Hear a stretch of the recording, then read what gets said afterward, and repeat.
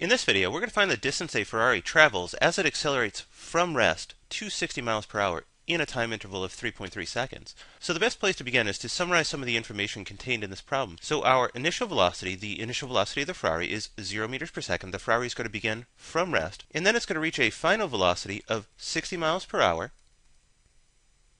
And it's going to take a time interval of 3.3 seconds to change the velocity of the car. Now, one of the things that we need to know is we want to know what the acceleration of the car is. And remember, acceleration is how fast the velocity of the car changes. Or to think of it mathematically, it's the change in velocity per change in time. Now, one of the things that we need to do before we can find the acceleration of this car is we need to have consistent units. So in this case what we need to do is we need to convert this miles per hour over to meters per second so our units of velocity are consistent. So this should be a good review problem. If our final velocity is 60 miles per hour, what we're going to do is convert this over to units of meters per second. So I know that 1 mile is exactly equal to 1.61 kilometers. And you should notice that this unit of mile cancels out with this unit of mile. And now I need to go from units of kilometers over to units of meters. So I know that one kilometer or kilometer is equal to 1,000 meters. And you should see that this unit of kilometers cancels out with this unit of kilometers, and I'm left with a unit of a meter. And the last step I'm going to do is I'm going to convert units of hours over to units of seconds. So I know that one hour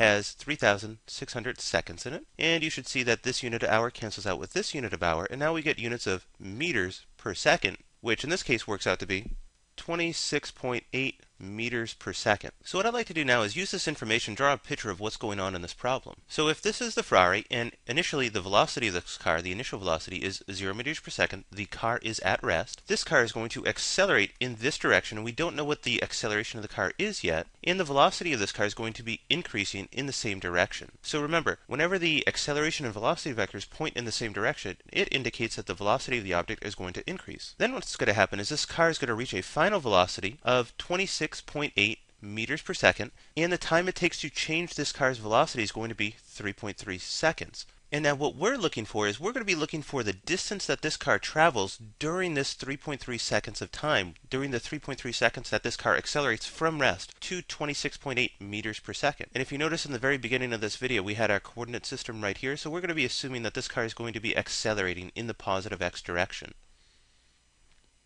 So the first thing that we're going to do is we're going to find the acceleration of the car by using the change in the velocity divided by the time it takes to change this car's velocity. So in this case, we said the final velocity of the car was 26.8 meters per second, and then we're going to subtract off the initial velocity, which was 0 meters per second. The car began from rest, and the time it took to change this car's velocity, that is to go from 0 meters per second to 26.8 meters per second, was 3.3 seconds. And then when we do 26.8 minus 0 meters per second divided by 3.3 seconds, we get an acceleration of 8.1 meters per second squared. So every single second, the velocity of this car is going to increase by 8.1 meters per second. Now there are two different ways that we can find the distance that this car travels while it's accelerating. We can use this kinematic equation which says that the distance this object travels equals the initial velocity of the object, in this case the car, times the time over which the car is accelerating, plus one half the acceleration of the car times the time over which the car is accelerating squared. Or we could also use this kinematic equation which says that the final velocity of the car squared equals the initial velocity of the car squared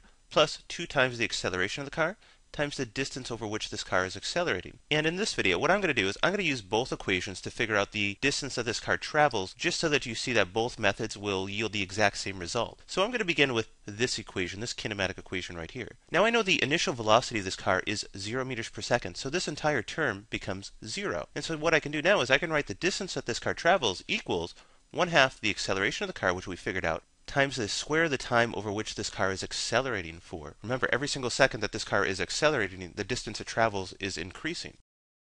Now in this case, I know the acceleration of the car is 8.1 meters per second squared. Every single second, the velocity of the car is going to increase by 8.1 meters per second. And I know the time over which this car is accelerating is 3.3 seconds, and I need to square the entire term. Now for the purposes of understanding the mathematics behind this, I'm going to do this product out and then find the final answer. So this is going to equal 1 half of 8.1 meters per second squared. And when I square 3.3 seconds, I get 10.8 89 seconds squared. Now what you should see is that this unit of second squared cancels out with this unit of second squared, and now all I need to do is multiply 1 half times 8.1 meters times 10.89. And when I multiply those terms out, I find that the distance that this car travels while it's accelerating is 44.1 meters, and that's going to be my final answer. Now what I want to do is I want to show that using this equation, I will find the exact same result as if I use this equation. So what I'm going to do is I'm going to just begin to work right down here. In the equation that I had written was the final velocity squared equals the initial velocity of the car squared plus 2 times the acceleration times the distance over which this car is going to accelerate. Now the initial velocity of this car is zero. The car begins from rest. And so the final velocity of this car squared equals 2 times the acceleration of the car times the distance over which this car is accelerating. And remember, we're looking for the distance that this car travels. So what we need to do is we need to solve for delta x, the distance that this car travels. So to do that, we're going to divide both sides of the equation by 2 times the acceleration. And remember, what you do to one side of an equation, you do to the other side. And what you should see is that this 2a cancels out with this 2a, and we get an expression for the distance that this car travels equals the final velocity of this car squared divided by 2 times the acceleration of this car. Now in this case, we said the final velocity of this car was 26.8 meters per second, and we're going to square the entire term. And what we're going to do is we're going to divide by 2 times the acceleration of this car, which was 8.1 meters per second squared. Now, for the purposes of this video, I'm just going to square this entire term out before we divide it by 2 times the acceleration. And when I do that, 26.8 meters per second squared works out to be 718.24 meters squared per second squared. And then I'm going to divide that by 2 times 8.1 meters per second squared, which works out to be 16.2 meters per second squared. And then when I divide 718.24 meters squared per second squared by 16.2 meters per second squared, I get a value of 44.3 meters.